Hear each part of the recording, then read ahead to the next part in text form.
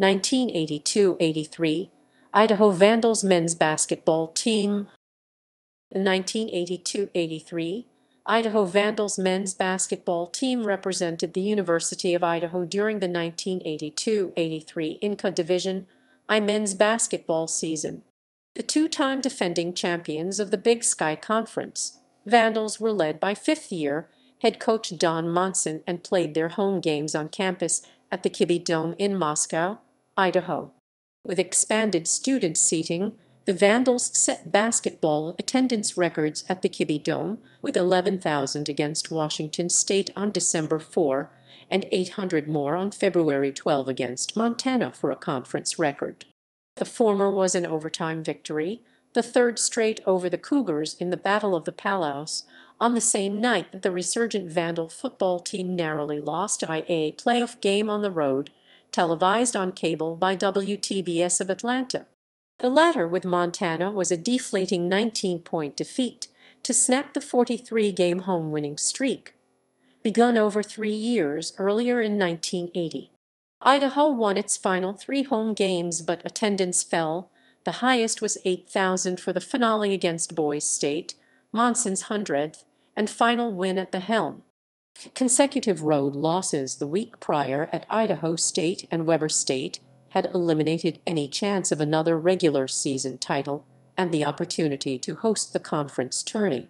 The Vandals successfully defended their title in the Far West Classic at Portland in late December and had a 12-1 record in mid-January and appeared capable of a third consecutive conference title. Four road defeats in conference and the home loss to Montana resulted in a tie for third place in the regular season with the Grizzlies, who swept their two-game series. With an opportunity to three-peat, the Vandals were the low seed in the 14 Big Sky tourney in Reno. They lost by five points to host Nevada Reno in the semifinals, and neither was selected for the 52-team NCAA tournament. Weber State won the final and advanced. Idaho became the first Big Sky team to earn an invitation to the NIT, but lost in the first round at Oregon State. They led by three at the half at Gill Coliseum, but lost by 18. The Beavers had also ended UI season the previous year in the Sweet 16 of the NCAA tournament. In both seasons, Idaho defeated OSU in the Far West Classic in late December, but lost the rematch in March. Between semesters on December 20, the Vandals played a home game at Columbia High School in Richland, Washington, where senior guard Brian Kellerman had starred, and 4,100 packed the Art Dawald gym for the homecoming. The popular Monson had coached at nearby Pasco High School for nine years 1967-76, and senior center Kelvin Smith was a PHS graduate. Idaho made a lengthy trip to South Carolina in January for a nationally televised game on CBS. Aftermath Several days after the NIT loss in Corvallis, Monson expectedly left his alma mater for the University of Oregon in Eugene. He led the Ducks for nine seasons in the Pac-10 with three NIT appearances. Assistant coach Barry Collier applied for the Idaho vacancy, but athletic Bill Belknap hired Bill Trumbo, a junior college head coach from Northern California. The Vandals returned to the cellar of the conference in each of the next three seasons, and attendance plummeted.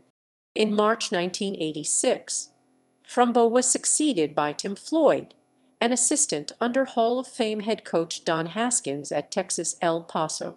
With Monson for all five seasons at Idaho, Collier joined him at Oregon for three more, then was at Stanford for three seasons under Mike Montgomery.